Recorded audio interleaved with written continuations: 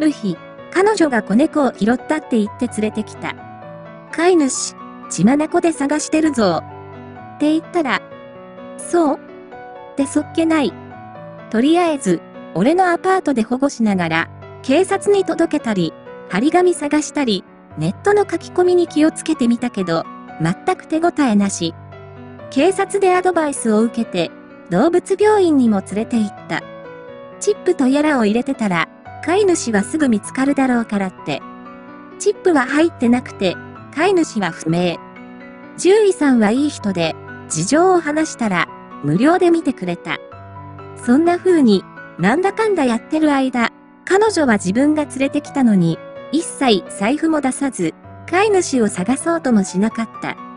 俺は、実家で、猫を数匹飼ってて、飼育の心得はあるので、結局、俺がそのまま飼うことになった。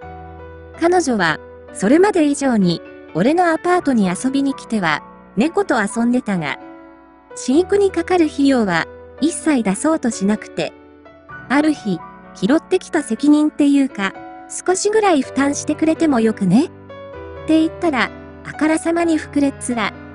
いや、俺だって余裕があるわけじゃないし、猫缶だって結構高いし。って言ったら、なんか、やだなせこい男って魅力ない。って。それでムカついて。出てってくれ、二度と来るな。って放り出した。猫は、しばらくうちで飼ってたが、職場の部署移動で出張があったので、さすがに、ちっこいのを一匹で置いておくのは心配で、実家に連れて行った。幸い、実家の猫たちとは相性が良かった。それからまたしばらく経って、元カノとの共通の友人と飲み屋で偶然会ったんだが、そこで驚くようなことを聞かされた。あの猫は、その友人の知人地で生まれた子猫だった。元カノが欲しがったので、里子に出したらしいんだけど、その件で、元カノと大喧嘩になって絶縁したそうだ。大喧嘩というのは、実家で飼うから、大事に飼うから、可愛がるから、って拝み倒して臨んだくせに、その後の様子を聞いたら、返答がちぐはぐでおかしいなと思って、問い詰めたらしい。そしたら、もともと世話したり、しつけとかは面倒くさいから、彼氏、俺に丸投げするつもりだったらしい。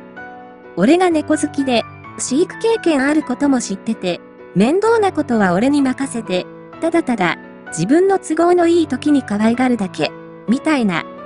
それ聞いて、彼女の態度が腑に落ちた。